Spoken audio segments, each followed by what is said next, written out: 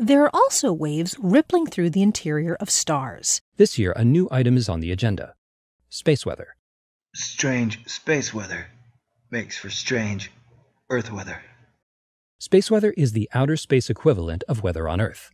From now on, space weather will be a matter of regular conversation. Space has radiation storms, solar wind, flares, and coronal mass ejections. The source of space weather is the Sun. Solar energetic particles at the magnetic poles can force the rerouting of international airline flights. Currents generated by magnetic storms can damage transformers and increase corrosion in energy pipelines. Solar storms have been known to disable satellites, cause temporary radio blackouts and power outages, and interfere with GPS signals. Multi ton transformers fried by such a storm could take years to repair and impact national security. I don't know if you know this. Thor News is for winners, and that's why you're here. So stick around. Good morning, folks. Are you cool? Hey, everybody. It's your heads up. Because I'm going to be dropping some hard Thor News science upon you. Stay cool. This is a Thor News presentation. Party dance time. Thor News presents. We've got a video message. I'm gonna have to science the shit out of this. Hit the button, baby. Welcome to Asteroid Fight Club. I'm your host, Thor. Today we have a, we are over at physics.org talking about how solar storms trigger surprising phenomena close to Earth. Apparently, there's a surprising and unknown mechanism in play during solar storms. Yeah, no shit, Sherlock.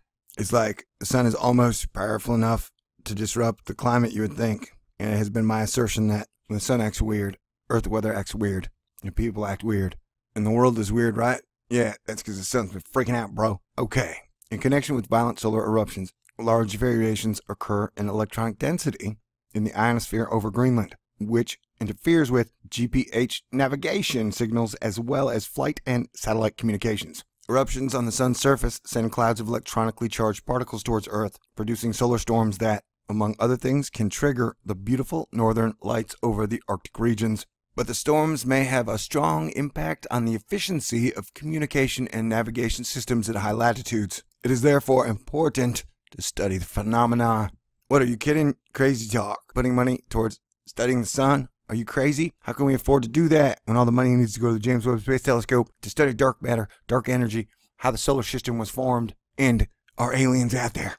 You know, I mean, sure, studying the sun can lead to better solar power, getting off our addiction to the combustion engine, which runs on petroleum, and a bunch of other things, but science and religion seem to agree that liking the sun is bad. Asterisk? New research from DTU Space and University of New Brunswick, see, it's NASA Jet Propulsion Laboratory, and University of Illinois I didn't read their names. Professor Richard Langley, Dr. Attila Komjathy, he, and University of Illinois, Dr. Mark Butala, shows that apparently there is a surprising and unknown mechanism in play during solar storms. Let me say that again. Apparently, there's a surprising and unknown mechanism in play during solar storms. During solar storms, large bursts of electrons are usually sent into the part of Earth's atmosphere called the ionosphere, which starts about 80 kilometers above Earth. This phenomenon occurs especially at high latitudes. It happens because the magnetic field created by the eruption on the sun interferes with the Earth's magnetic field. And insert here in the comment section how you think carbon is really screwing up our magnetic field. Crazy. Crazy. I don't know. The whole world is crazy. I don't know if I can make it anymore. Keep it together, man. Okay. Self. Good idea. It happens because the magnetic field created by the eruption on the sun interferes with the Earth's magnetic field. It opens, so to speak, up to allow particles and electrons that would otherwise be reflected to penetrate the ionosphere.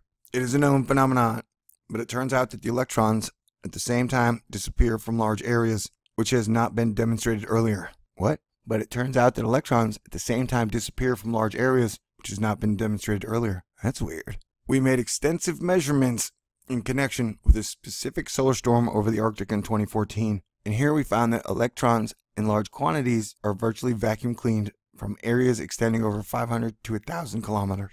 It takes place just south of an area with heavily increases in electron density known as patches, says Professor Per Høeg from DTU Space. The results of the research were recently published on the front page of the renowned scientific journal Radio Science. The discovery is an important piece in the jigsaw puzzle of understanding solar storms and their impact on Earth's ionosphere. It is a surprising discovery that we hadn't anticipated. We can see that it happens, but we don't know why. However, other data sets from Canada indirectly support our new observations. A, you says Per Høeg. Dramatic changes in the magnetic field. I know this is kind of doomy, man. So, dramatic changes in the magnetic field. The explanation of the phenomena should probably be found in the geomagnetic processes in the Earth's magnetic field in a direction away from the Sun. The composition of the magnetic field undergoes dramatic changes in the area between the solar wind and the Earth's magnetic field, triggering powerful bursts of energy. Triggering powerful bursts of energy. The forerunners to the phenomena is a violent eruption on the Earth's surface, also known as coronal mass ejections, or CME, where bubbles of hot plasma and gas in the form of particles, electrons, and a magnetic field are hurled in the direction of Earth, says Per Høeg. As the geometric solar storm took place in the ionosphere over the Arctic in February 2014, it was measured via satellites and land based measuring stations. Among other things, via the GPS network GNET in Greenland, which DTU helps run via DTU's geomagnetic measuring stations, the Global Navigation System GPS, and the various American Canadian satellites. Wow, Canada has satellites? Good job, guys. Thus, large data volumes from the solar storm were recorded. The research extends far beyond the discovery that electrons are pulled out during solar storms. Tibor Durgonics, PhD student at DTU Space and main author of the new article in Radio Science. There are two aspects of this research. It can both be used for a number of practical purposes, and then there is a theoretical part which is about achieving a better basic understanding of these phenomena. Hey, baby, I would like to understand your phenomena. I shouldn't say that. That would get me in trouble. Our work can contribute to making navigation more reliable during ionospheric storms in the Arctic region. Our new research has enabled us to identify a number of critical factors that affect the quality of satellite-based navigation and to assess probability of when these factors may occur. At a more theoretical level, we have found out that during solar storms, electrons are removed in the ionosphere, which is the opposite of what you would intuitively expect. That's true. When the magnetic field from solar eruptions hits the Earth's magnetic field in the ionosphere. Their force fields are mixed. Dun dun dun. Consequently, unstable areas, so called patches, are created in the Earth's ionosphere, extending over large areas near the North Pole. The area of patches at the polar cap may extend over 500 to 1,000 kilometers, with electron speeds exceeding 1,000 meters per second. This gives rise to the surging, powerful northern lights and creates turbulent conditions. That seems to add more evidence to my when the sun freaks out, the weather freaks out, people freak out theory. Interferes with navigation and communication systems. Oh yeah, a big storm. What the hell? I'm going to cut that out. This must be a European article. Why is physics.org showing me a row of bush and teeth, mice and Trump? Also, giant solar storm could melt everything on Earth. Well, I mean like electronics and communications and stuff. You knew that. Knowledge about solar storms are important, as communication with with airborne signals via satellites and radio play and increasingly and increasingly important in society. What? Knowledge about solar storms are important, as communication with airborne signals via satellites and radio play an increasingly important role in society. I think that's what they meant. Solar storms may interfere with GPS satellites and their signals, make radio communication fail, and cause extensive power failures. Also, it's been known to catch power lines on fire. The sun can catch shit on fire, yo. Who would imagine that? A giant ball of fire can catch stuff on fire. Crazy. The risk of disruptions in the atmosphere is one of the reasons why no routine flights are made over the Arctic. Dun dun dun. Cue flat earthers call them bullshit.